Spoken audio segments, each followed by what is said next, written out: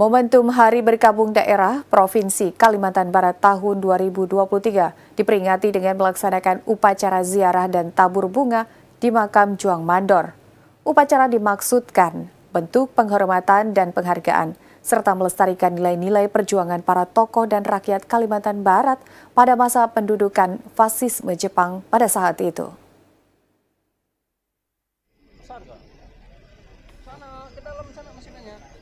Upacara ziarah diawali dengan penghormatan kepada arwah para pejuang.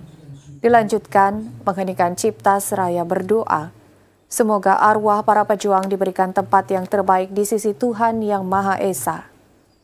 Tabur bunga yang diikuti seluruh peserta ziarah, upacara diakhiri dengan penghormatan terakhir.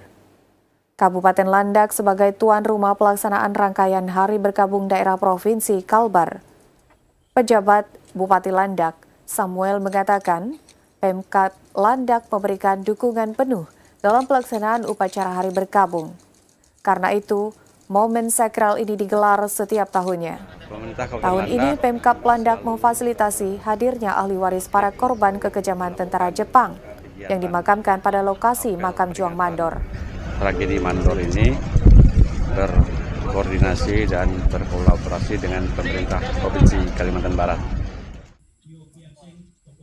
Sementara itu, salah seorang ahli waris yaitu Biantara Wigogo, Wiyogo adalah salah seorang cicit Dr. Rubini yang mengatakan dirinya baru kali pertama mengikuti upacara di makam Juang Mandor. Diakuinya sebuah apresiasi yang setinggi-tingginya serta wujud tidak melupakan sejarah.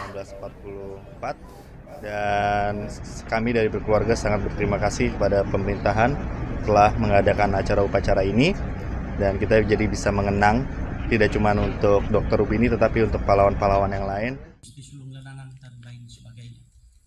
Pelaksanaan upacara peringatan Hari Berkabung Daerah ini berdasarkan Perda nomor 5 tahun 2007 tentang peristiwa Mandor.